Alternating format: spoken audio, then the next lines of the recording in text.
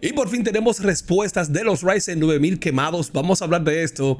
En este video saben que hay una cantidad de CPUs, no son cientos de miles, alrededor de 157 CPUs Ryzen 9000 que han estado dejando de subir, quemándose, llámele como quiera, han estado fallando y sabemos que hay una coincidencia y es que la mayoría ocurre en placas ASRock, o sea, placas ASRock tienen el mayor ratio de fallo y también coinciden con sus nuevos modelos X870, los motherboards nuevos hasta las B. Vamos a hablar de esto porque ha sido algo bastante bueno investigar qué ha estado ocurriendo y recientemente vimos a Brian de Tech Yes City que le fracasó su 9950 y también él tenía una motherboard ASRock. Entonces, ¿qué ha estado pasando? Bueno, la suerte que se le quemó a Brian, Brian hizo un video y a raíz de ese video, AMD ha estado también aclarando esto de que en un momento dijo que no, que esa situación no se correspondía a que era culpa de AMD, sino que era un tema con Astro, que están al tanto de esto. Astro estuvo hablando de que esto podría ser un tema de incompatibilidad de memoria, pero adivinen, esta no ha sido la causa de esto. ¿Qué pasa? Brian, al quemársele su Ryzen 9 9900X, ha estado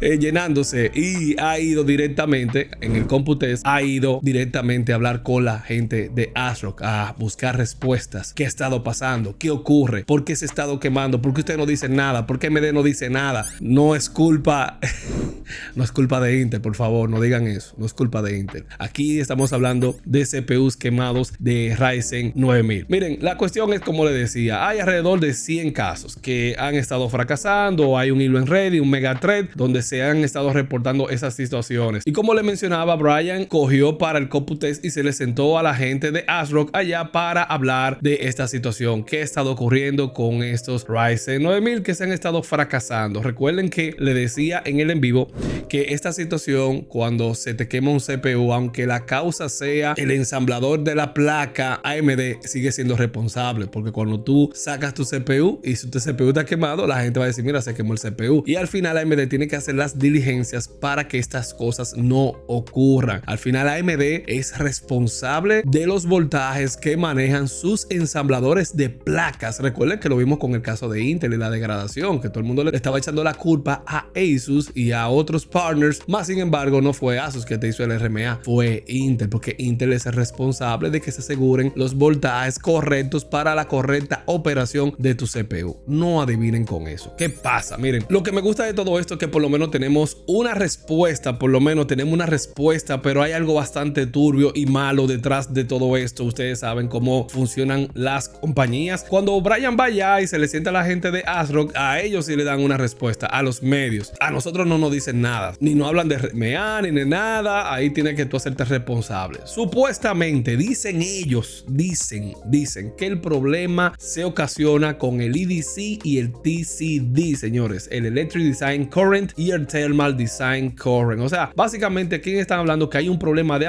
que existe cuando tienes activado el Precision Boost Overdrive. Esta es la situación que ellos sugieren que ha estado dando estos inconvenientes. Supuestamente, esto se da en las motherboards que son high-end y mid-range, por ejemplo, las B650E, X670E, también eh, ocurren con la X870. Ojito con eso, no sé si ellos han estado omitiendo eso para que la gente no se asuste y deje de comprarla, no la deje de comprar no sabemos. Y hasta las B860 Steel Legends, recuerden, miren, estos CPUs han estado fracasando en X870. Ojo con eso. Y dicen que estas motherboards tienen la capacidad de hacer que estos Ryzen 9000 corran con su máxima capacidad al momento de activarle el PBO desde que lo montas así por default. O sea, montaste y él automáticamente le va a entregar todo lo que necesita. Entonces dice Astro que lo que ha estado pasando es que este amperaje, estos voltajes han sido demasiado agresivos para lo que pueden soportar, pueden manejar estos CPUs. Y ellos aquí prometen que estos problemas han sido corregidos con el último BIOS update, el cual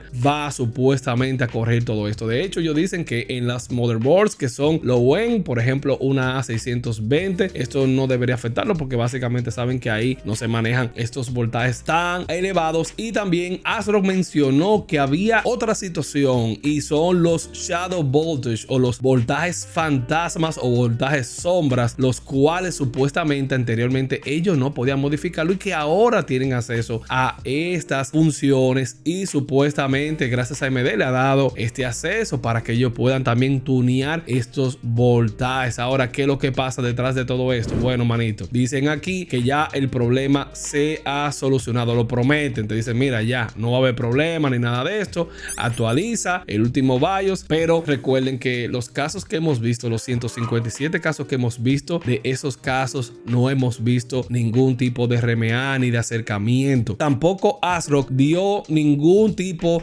de declaración pública, o sea, deben ellos hacerlo de manera pública, decir, miren, el problema de todos esos Ryzen 9000 que fueron fracasados, que no butean, nosotros somos responsables si ocurrió este evento en una placa de nosotros, nosotros le vamos a reponer su CPU afectado. No dijeron nada de esto, eso no lo han dicho. Y si no lo dicen, no podemos tampoco correr con un RMA por una situación de estas. Entonces la pregunta del millón de dólares es, ¿se saldrá la suya ASRO con esta situación? Porque no han dicho nada de un RMA, han ido y le han dado la información a Ryan directamente, le han dicho, pero nadie dice nada en torno a esto. Aquí podemos ver algunos números con el PBO activos antes y después y podemos ver que había una situación, podemos ver las diferencias de estos. Recuerden también aquí vemos un descenso leve en términos de rendimiento. Viéndolo así, vemos que hay un descenso leve también de rendimiento. También podemos ver aquí una pequeña diferencia en el consumo energético. Lo podemos ver aquí y las temperaturas. Vemos aquí cómo desciende ligeramente el consumo energético y la temperatura manteniendo aquí básicamente las mismas frecuencias de reloj. Y esto es interesante. La idea detrás de todo esto es que este CPU no te falle no den problema. Y si te falló y sabemos que esta situación se ha producido por una negligencia de ASRock junto con AMD les reitero que aunque el fracaso de la CPU se dé en placas ASRock recuerden AMD debe también asegurar que estos board partners deben de mantener los voltajes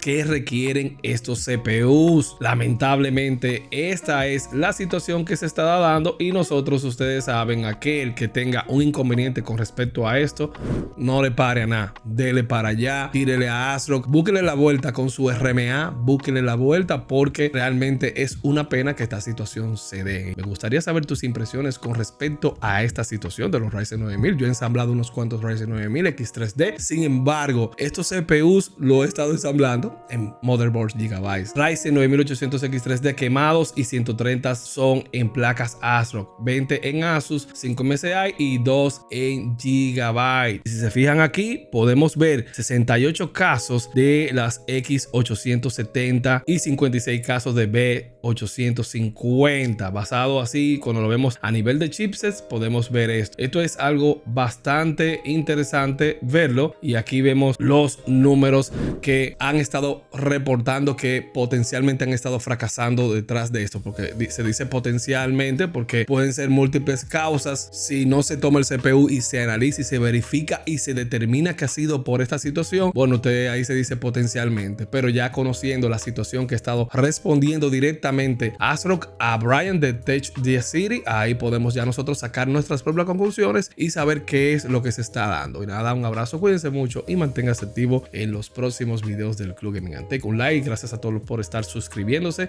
y nos vemos en este video loco que está durísimo. Nos vemos allá. Chao, chao.